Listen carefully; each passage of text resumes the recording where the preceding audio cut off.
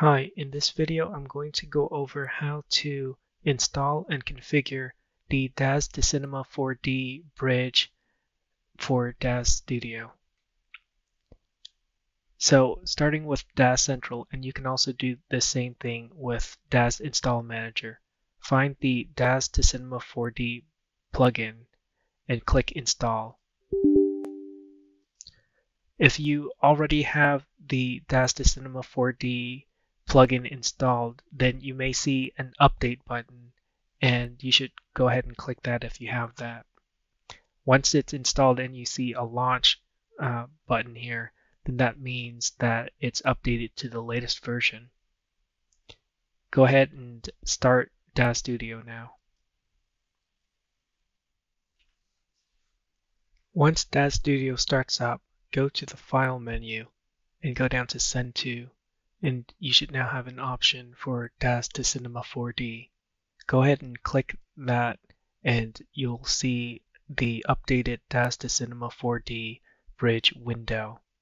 If you don't have anything in your scene, you'll have this help text up at the top with links to GitHub and uh, the Cinema 4D FAQ and some YouTube tutorial videos as well as right here, uh, these last two is uh, the Maxon knowledge base for how to create a plugins folder for Cinema 4D and the DAZ 3D forums. What we need to do is actually install the Cinema 4D plugins. So in the advanced settings section, you'll see Cinema 4D plugin installer and we'll need to click install plugin. But before we do this, I'm going to open up this second link here for where to install the Cinema 4D plugin. So this link will show you how to create the plugins folder for Cinema 4D. So I'll go ahead and do that now.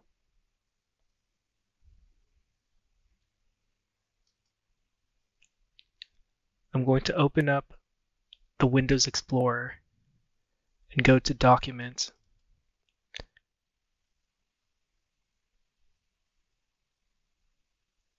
So I'm going to click New Folder and add in Cinema 4D.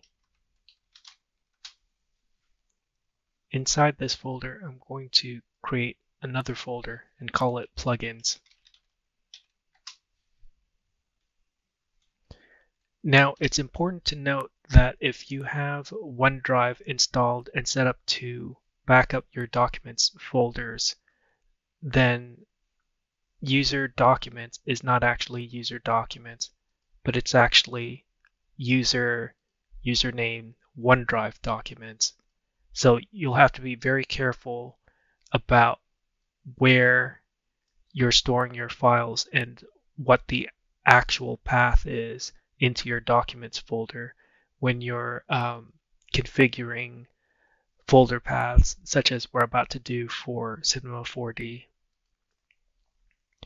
So now let's open up Cinema 4D.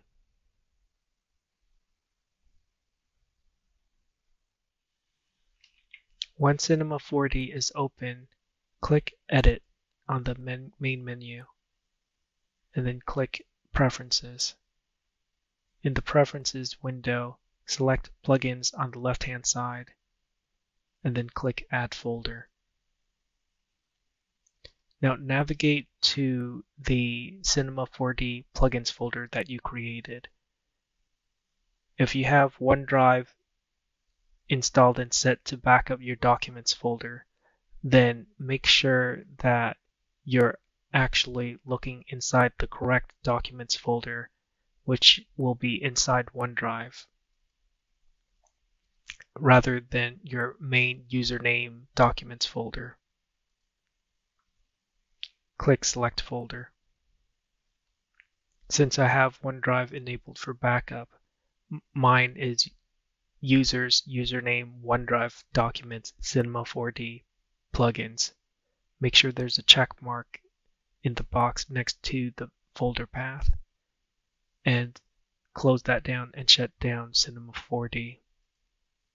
Now we're ready to install the plugin from the DAZ Studio Bridge uh, window. Now I navigate to that same folder path again. And again, if I'm using OneDrive, make sure that OneDrive is correctly in the path and then click select folder. If the installation was successful, you should see a message telling you where DAZ Studio has installed the Cinema 4D plugin and hopefully this will match up with the path that you put into Cinema 4D. If it is, click OK and then restart Cinema 4D. Once Cinema 4D is restarted, you should now have a DAZ 3D uh, option on the main menu. And if you click DAZ to C4D, you should get the DAZ to C4D window. And that completes your installation and configuration of DAZ to Cinema 4D Bridge.